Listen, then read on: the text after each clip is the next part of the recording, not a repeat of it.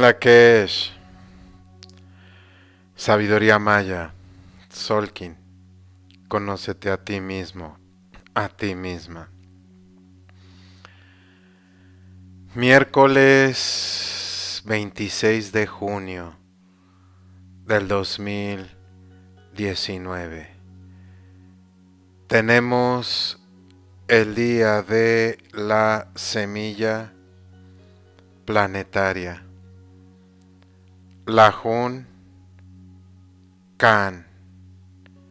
El Kin o día número 244 en la secuencia de 260 kines o días del Solkin. La semilla Kan es el glifo maya número 4 la semilla es representada por el grano de maíz, alimento sagrado mesoamericano.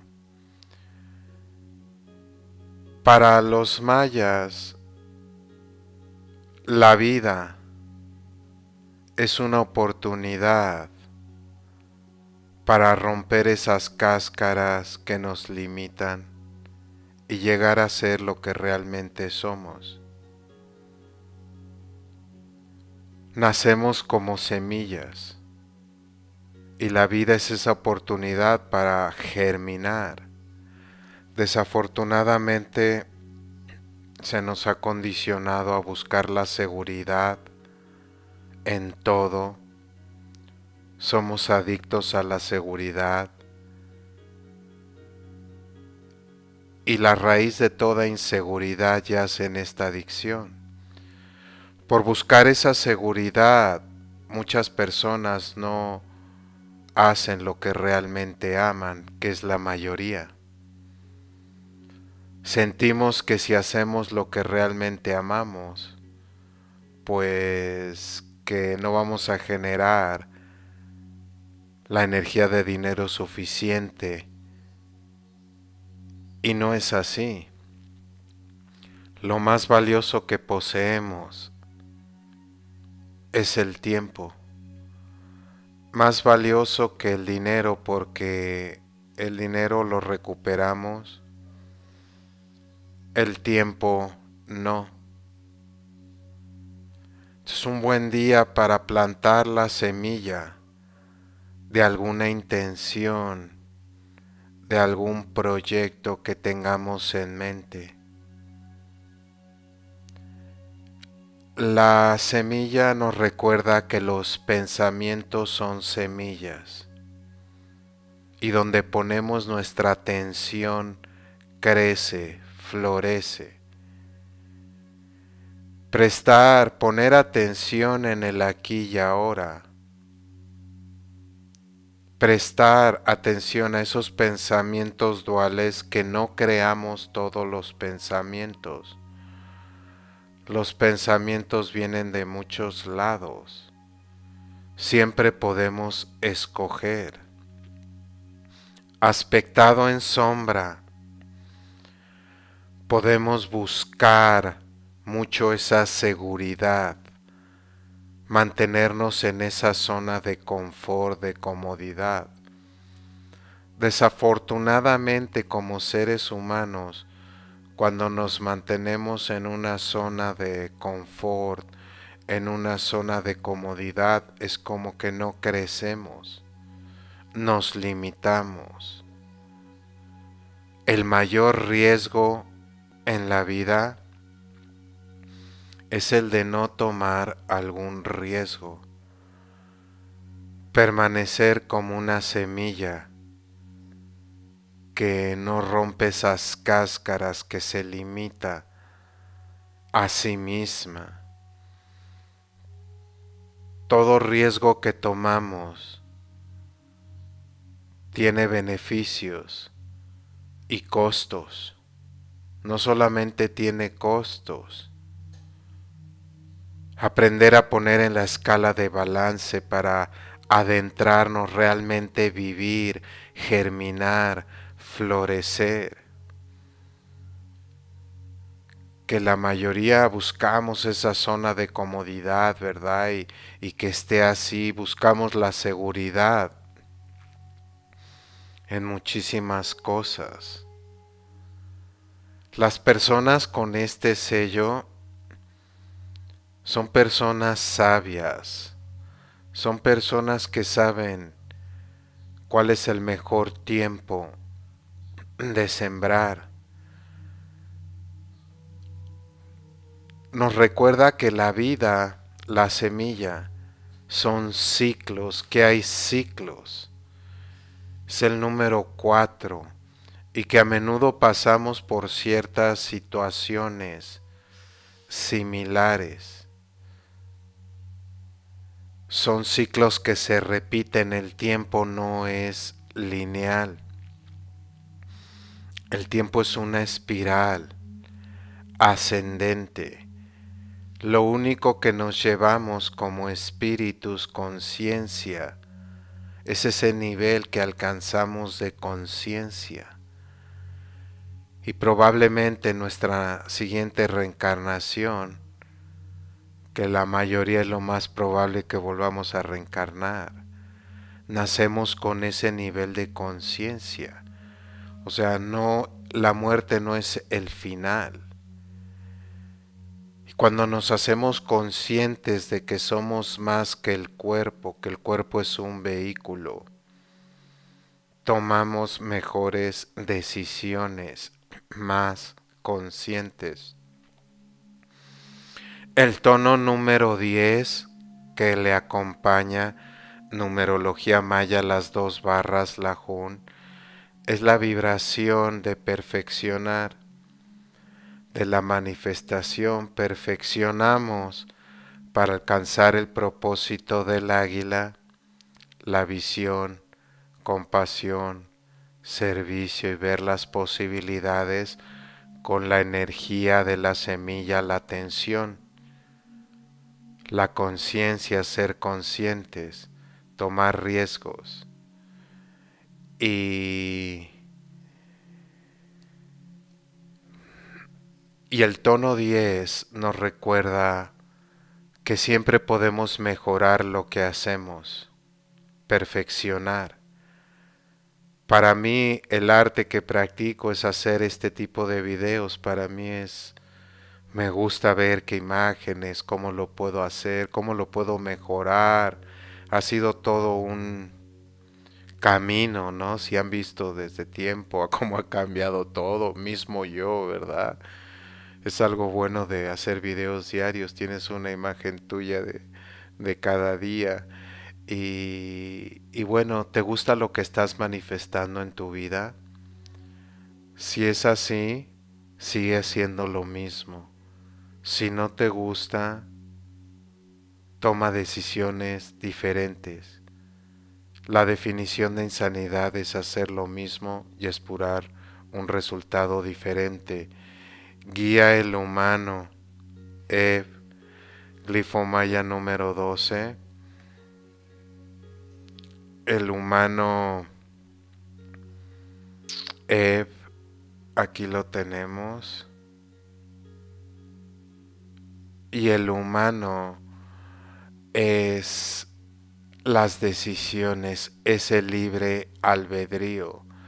El humano nos recuerda que toda decisión que tomamos tiene beneficios y costos, no hay decisiones con solo puros beneficios.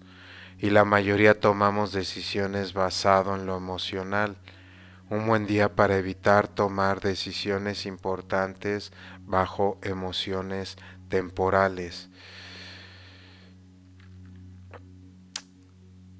El kin análogo, el águila, glifo maya número 15, y el águila es la visión, nos recuerda que cuando cambiamos la forma de ver las cosas, las cosas cambian de forma, es el servicio, brindar servicio a los demás. Cuando lo hacemos, cada acto se vuelve un acto de sanación.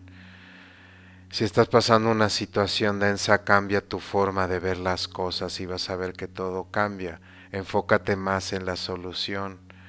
El oculto es la tierra, glifo maya número 17, y la tierra nos invita a conectarnos con ella, prestar atención a las señales, son sincronicidades que se dan en nuestro camino, esas aparentes casualidades, un encuentro que no habías visto a una persona hace mucho tiempo, una llamada telefónica, etcétera, ciertas señales son sincronicidades que tienen el potencial de cambiar nuestra vida. Eso es si estamos en el aquí y ahora en vez de estar en el pasado o en el futuro. Y el kin antípoda, que es el reto del día, es el reto del mago. Ish, Clifo Maya número 14. Mando un saludo a Marco Roldán, un mago entonado, un maestro.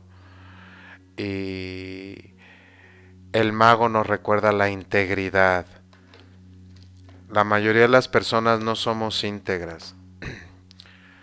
Porque pensamos una cosa, decimos otra y hacemos otra no hacemos lo que decimos que vamos a hacer.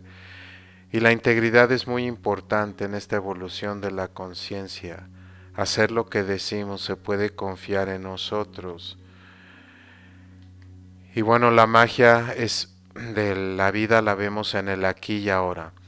Transitando el castillo verde central del encantar de la trascendencia en el año de la luna cósmica, sentir las emociones, no consentirlas, perdonar y aceptar el cambio. El cambio no produce dolor, es la resistencia al cambio lo que produce dolor.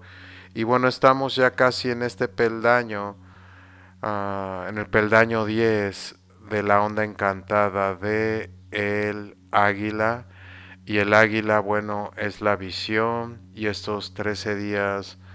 Ah, se nos invita a cambiar la forma que vemos las cosas, ver de un diferente ángulo, en verdad.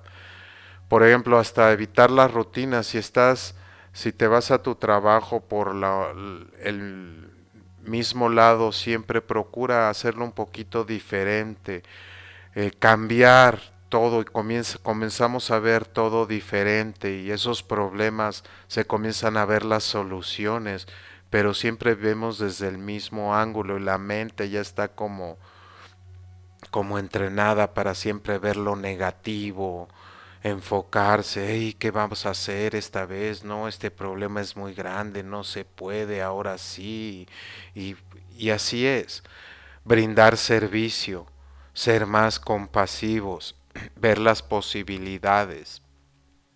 Hay una infinidad de posibilidades cuando elevamos la visión todo cambia.